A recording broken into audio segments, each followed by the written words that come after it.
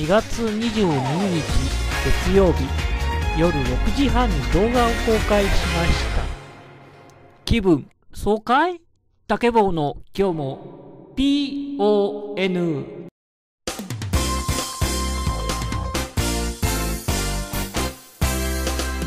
動画制作は過酷な時間との戦いの竹棒です。今日は動画番号0991および0999で使用したループ線のあるレイアウトを、まあ、細かく見てみようという動画です。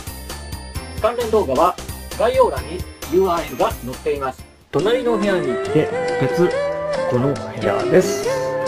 え動画番号0819で、え PC 強脚で高い効果レールを作るという動画がありましたが、今回はレンガ強脚バージョンです。動画番号0819はただの超円エンドレスでしたが、今回は、まあ、このループ線を目玉にしています。品番7304のレイアウトプランブックのプラン12をご覧ください。ちょっと反射してますね。プラン12です。で、ここでですね、えートンネルが随分と多いですよね。で、固定レイアウトなので、レール配置もですね、このように、まあ、一部分だけ、まあ、高架橋が使われているというものなんですね。でこのレイアウトは、まあ、このレイアウトに、まあ、えーここですね。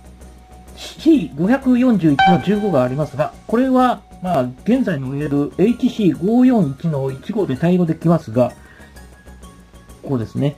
C280 の15や、バリアブルレールは、高架レールには対応できないため、一部分を変更し、まあ、このですね、お座敷、レイアウトにですね、まあ、対応できるようにしました。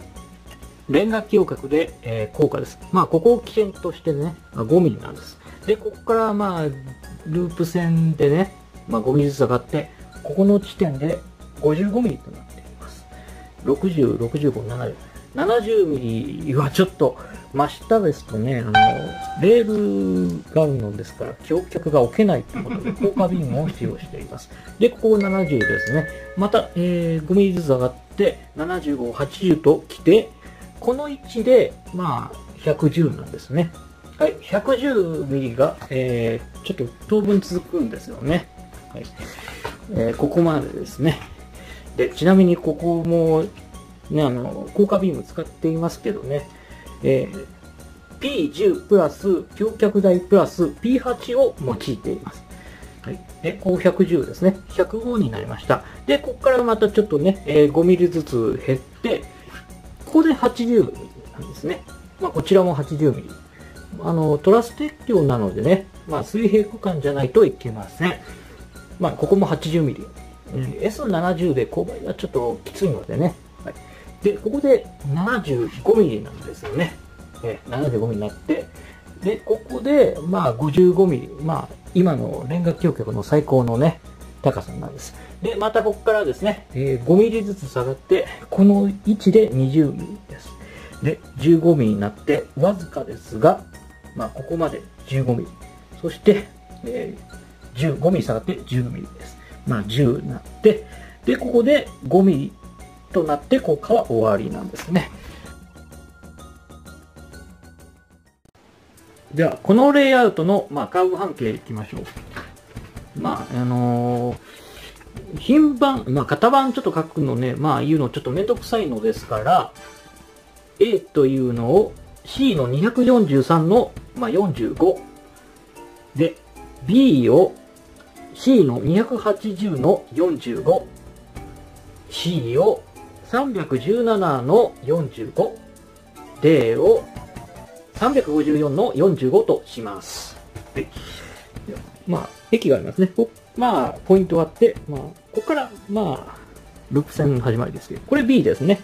B の、これ3分の1ということですから、まあ、280の、まあ、15、15度。ね。はい。E というのはですね、C の541の15。まあ、これと同じですね。まあ、駅の、えー、まあ、対比線、まあ、通過線と同じカーブ半径なんですね。はい、ここからね、まあ、ループ線に入るわけなんですけど、B ですけどね。B は、えー、C の200。はい。C の、えー、280の45です。A ですね。はい。ここ、えー、すべて A となってますけどね。まあ、小さい、まあ、カーブ半径ですね。まあ、C の243、45ですけど、ここでちょっと、まあ、大きい C ですね。えー、C の317。B、B、B、B と、まあ、続きます。まあ、B は C の280。そしてですね、えー、D と C ってなってますけどね。うん。で、ここがまあ354で、こっちが317ってなってるんですけどね。うん。まあ、ここが、まあ、ここよりね、まあ、大きいレールにしないといけないもんですが、カーブ半径もね、大きなものにしないといけないんですね。はい。で、まあ、まあ、鉄橋、ね、ありますね。まあ、ここはまあ、小さい C の243。で、はい、ここは B、B、B、B となってますから、え C の280です。で、こちらですけどね、ここからここまでは、まあ、A と B がね、えー使われていますね。まあ、C の243と、え C の280です。まあ、これもまあ、使い方はまあ、不規則です。で、まあ、こちらですね。まあ、これ A、A、A となってるこれは C の243ですけれども、まあ、こっちですね。こっちはまあ、BB ですから C の280っていうことなんですけどね。はい。えーまあ、ループ線には一番ね、まあ、カーブのきつい C の243がね、使われています。まあ、こんなにね、あのカーブ半径がきついと、曲線抵抗がね、大きくなって、まあ、長編成の、まあ、列車では、まあ、一部登れないっていうこともあります。ループ線レイアウトを解体して、えー使ったものを並べてみました。で、やっぱり高架橋付き、まあ、カブレールが多いですよね。C の243が、これが8本で C の280が12本、12本も使ったんですね。C の317、C の354、これ1本ですね。で、トラス鉄橋は3つです。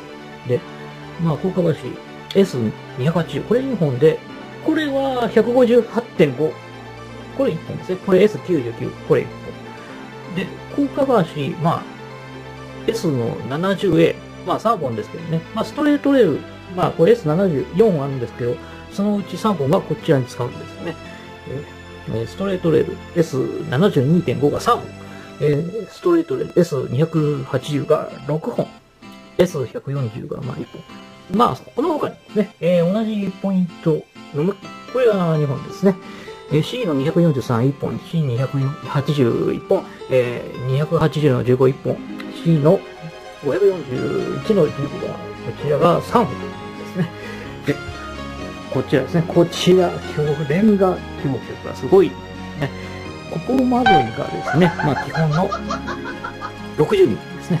こちらからですね、まあ65ミリから110ミリですね。110ミリの橋脚はなんとですね、えー、これですね、えー、10、10個使いましたね。10個使ったんですね。はい。まあ、あとは建物ですね。えー、建物ね。はい。まあ、商店セット、えー、角道セット、わらぶき農家ですね。パワーユニット、えー、ポイントコントロールボックス。まあ、これ2つですね。ポイント2つですけど。で、こちらが、まあ、パワーユニットですけど、んえー木造駅舎に使う、まあ、室外照明ユニットおよび、まあ、延長コードですね。それを使って、あとは、まあ、ね、リレーラーという、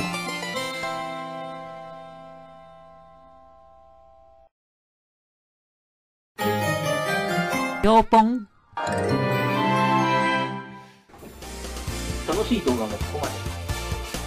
分岐線の全体レイアウトのレール配置に動画番号0999で使用する車両が映っていましたね。ちょっと見せてしまいました。ということで、今日はここまでです。